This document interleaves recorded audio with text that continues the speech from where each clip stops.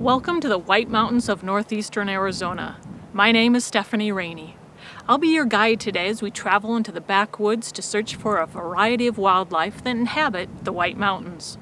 On our trek, we'll encounter black bear, Rocky Mountain bighorn sheep, Rocky Mountain elk, javelina, mountain lions, pronghorn antelope, mule deer, Merriam turkey, and countless other wild animals. I've spent the last 10 years wandering the woods of the White Mountains filming wildlife, and this is my video journal. So put away your compass and follow me as I show you my favorite footage from the past 10 years. So sit back and enjoy Wildlife of the White Mountains.